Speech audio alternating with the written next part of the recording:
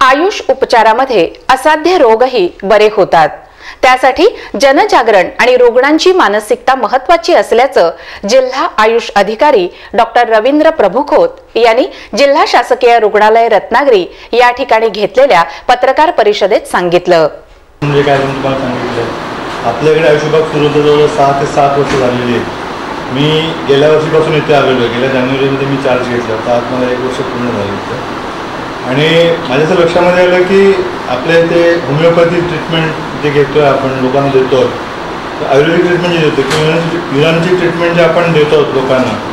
त्यामुळे लोकांना काय फायदा होतो हे लोक एकमेकांना सांगत असतील पण पब्लिकला ॲज इन जनरल असं अजूनपर्यंत अवेअरनेस येत नाही आहे आणि आम्ही एकदा असं ठरवलं की ज्या सध्या हार्डकोर केसेस आणि ज्या ॲलोपॅथीकडनं क्युअर होत नाहीत. तर त्यांना म्हटलं की आम्ही ॲज अ चॅलेंज म्हणून किंवा एक त्यांना जर बरं वाटत असेल तर आमच्या ट्रीटमेंटचा आम्ही त्यांना उपचार करून बघ देऊ. तर सिव्हिल सर्जन आपले देवकर साहेबांनी आम्हाला ती परमिशन दिली. इतर खात्यातल्या डॉक्टर्सनी जसे काही डॉक्टर्सनी परमिशन दिली मोरे डॉक्टर्सनी आम्हाला परमिशन दिली. किंवा अशाचे जे पेशंट्स आहेत तुम्ही तर त्याप्रमाणे तुम्ही त्यांची ते ट्रीटमेंट करायला आमची काही हरकत नाही. त्याप्रमाणे आता खाल अश्वाखाली डॉक्टर जे आपले आहेत होमिओपॅथीचे त्याने त्याच्यावरती तातडीने अंमलबजावणीला पण सुरुवात केली. आयुष विभागाअंतर्गत होमिओपॅथिक आयुर्वेद युनानी योगसिद्धी आदी उपचार आणि औषधांचा समावेश असून होमिओपॅथिकने असाध्य रोगही बरे होतात. त्यामध्ये कोमात गेलेला रुग्णही बोलू लागला तर किडनी फेल झालेल्या रुग्णालाही या होमिओपॅथिक औषधांचा दिलासा मिळून त्याने लवकरात लवकर बरे होण्यासाठी प्रतिसाद दिल्याची माहिती डॉक्टर अशफाक काझी यांनी दिली. ट्रीटमेंट काहीच गोष्टीने बेनिफिट होत नव्हता. मेडिसिन स्टार्ट केल्याच्या तिसऱ्या दिवशी त्याची चक्कर आणि हेडेक स्टॉट स्टॉप झाला आणि एक महिन्यानंतर सिटी स्कॅनचा रिपोर्ट आहे पूर्णपणे नॉर्मल तुम्ही बघा.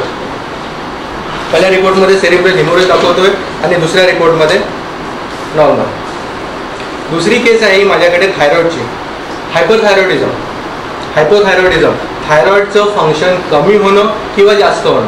खास करून ही गोष्ट स्त्रियांमध्ये जास्त होते. ह्याच्यामुळे होतं काय? थायरॉइड इम्बॅलन्स झाल्यामुळे त्यांचे मेन्स्ट्रोल इम्बॅलन्स होतं. त्यांचे बाकीचे फंक्शनल डिस्टर्बन्सेस होतात. तुम्ही बघितलं असेल की थायरॉइडमुळे प्रॉब्लेम झालेल्या लेडीजना वजन वाढणं चेहऱ्यावरती केस येणं पॉलिसिस्टिक ओव्हॅरियन डिसीज म्हणजे त्यांना पी सी ओ डी होतात. म्हणजे दोन्ही साईडच्या ओरीमध्ये त्यांच्या गाठी होतात. मुलं होत नाही त्यांना. किती कॉम्प्लिकेटेड प्रॉब्लेम आहे तो. P C is a very complicated आणि आजच्या दिवसाला तो खूप मोठा आजार आहे. एवढे पेशंट आहेत पी सी ओडीचे लहान लहान मुलं आहेत माझ्या ओपीडीमध्ये म्हणजे जवळजवळ मला वाटतं पंधरा सोळा सतरा. अर्ली एजमध्ये त्यांना पी सी ओडी होतो.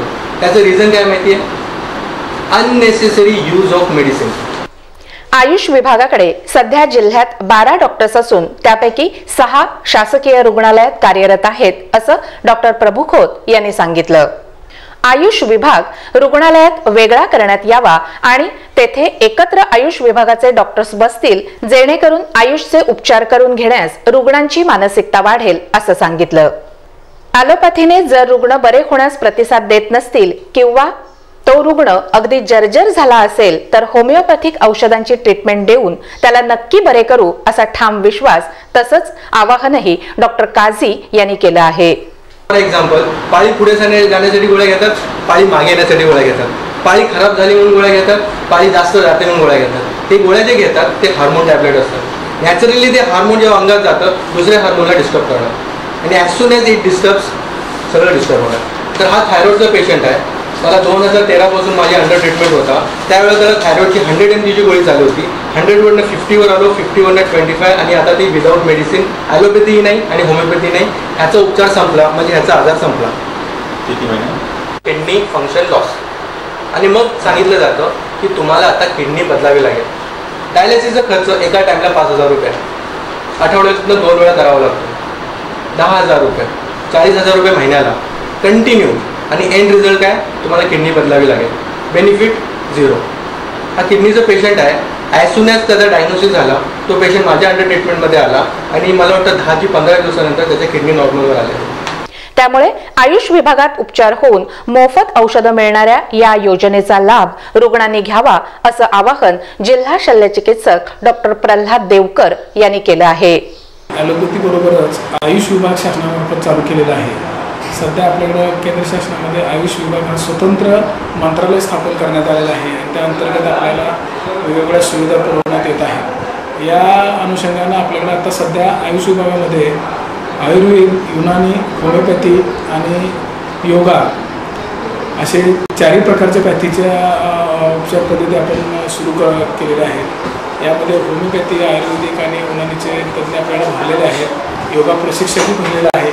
मला या निमित्तानं सर्व जनतेला आवाहन करायचं आहे की या याचा उपयोग करून आपल्या व्याधीपासून आपण मुक्त व्हावं.